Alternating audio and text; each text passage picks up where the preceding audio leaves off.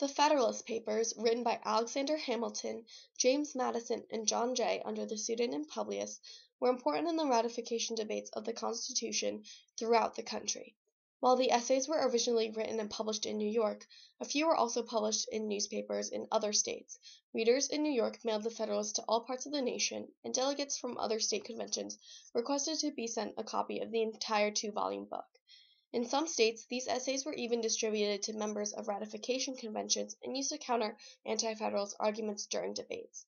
However, the main goal of the essays was to explain the Constitution to the people by clarifying how the new government would operate as well as by justifying why each section was included. Federalist 23 is especially important as it helped to explain the need for a stronger government with more powers which many people feared at that time.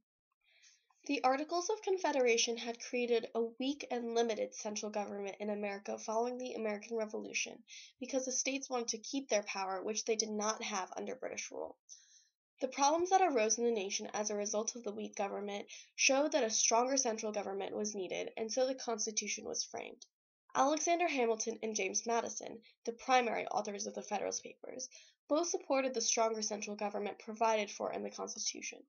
However, Hamilton wanted a government even stronger than the one framed by the Constitution, and Madison wanted a much more centralized government. The Constitution did not perfectly satisfy their ideals, but the Constitution was an improvement on the Articles.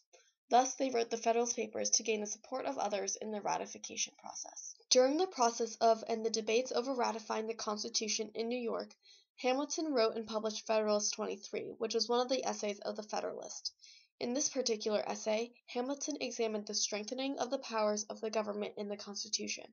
He wrote: "The authorities essential to the care of the common defense are these: to raise armies, to build and equip fleets, to prescribe rules for the government of both, to direct their operations, to provide for their support.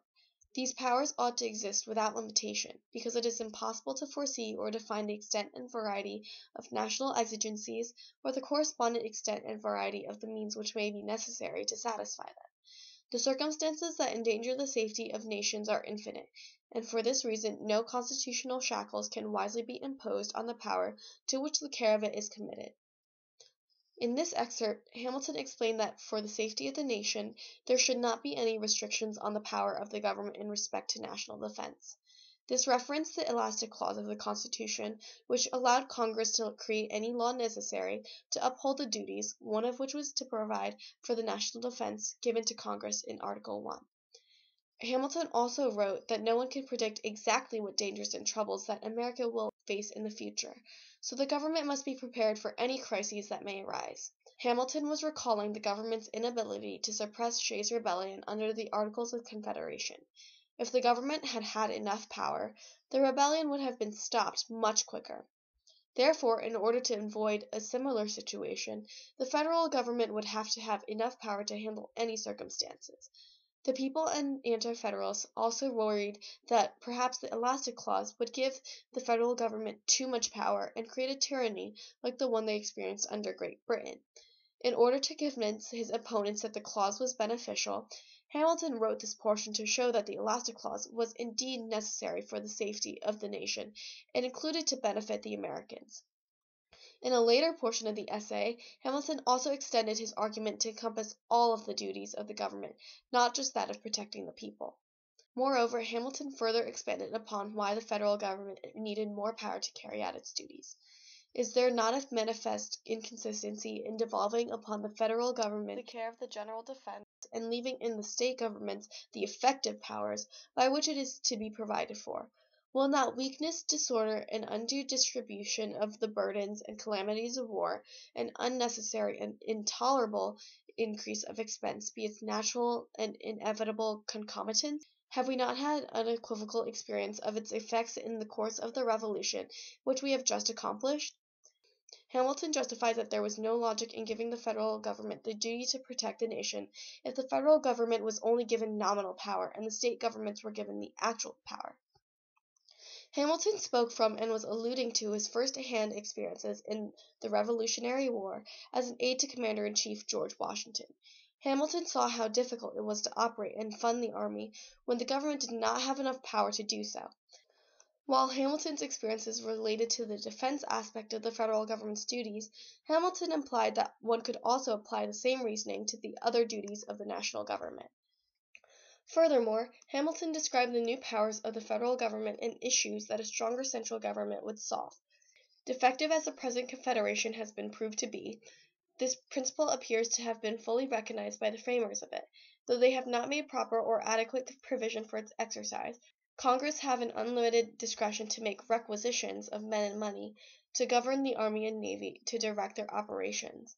It was presumed that a sense of their true interests and a regard to the dictates of good faith would be found sufficient pledges for the punctual performance of the duty of the members to the federal head. Hamilton noted the main faults and failures of the Articles of Confederation, which is the federal government's lack of power to enforce their laws. While Congress could ask the states for money and soldiers, Congress could not force the states to give them the money or soldiers. The federal government had to rely on the people and states' virtues. The inability to tax did not allow Congress to repay soldiers after the Revolutionary War, leading to rebellion. By strengthening and giving the new government more power, these issues could be avoided completely. Additionally, Hamilton was addressing the Anti Federalists who believed that the nation could be run solely based on the people's virtues, and a strong, powerful government was not needed. Hamilton was telling the Anti Federalists that their attempt at such a government had failed, and the people should support a stronger government, not fear it. This idea reflected a trend in Hamilton's political life. Hamilton always wanted to strengthen the government. During his time as President Washington's Secretary of Treasury, Hamilton formed a financial plan that included the establishment of a national bank and the assumption of all state war debts along with the national debt. These actions strengthened the government since investors and creditors would want to ensure the government's survival, increasing its power. Finally, Hamilton directly addressed his opponents and advised readers not to follow the anti Federalist beliefs. This is the strongest argument in favor of an energetic government, for any other can certainly never preserve the union of so large an empire. If we embrace the tenets of those who oppose the adoption of the proposed Constitution as a standard of our political creed, we cannot fail to verify the gloomy doctrines which predict the impracticability of a national system pervading the entire limits of the present Confederacy. This conclusion of the essay reminded the people of the importance of and the need for a stronger government in America. With a weak government like the one under the Articles of Confederation, the lack of power would create many issues as proved by past experiences. However, Hamilton's other motivation was that the Federalist Papers were a form of propaganda as well. Hamilton wanted to persuade the Americans and anti Federalists that the Constitution would really benefit the nation. Hamilton did this not only by actually explaining the benefits of the Constitution, but also by attacking the Anti Federalists and blatantly stating that the people should not follow the Anti Federalist beliefs. In the last part of Federalist 23, Hamilton claimed that if the people in America submitted to the Anti Federalists and did not ratify the Constitution, the nation would inevitably fail because of the weak government, and a strong government was the best way to ensure the success of the country. Logically, the people would want the nation to succeed and therefore support the Federalists in ratifying the Constitution.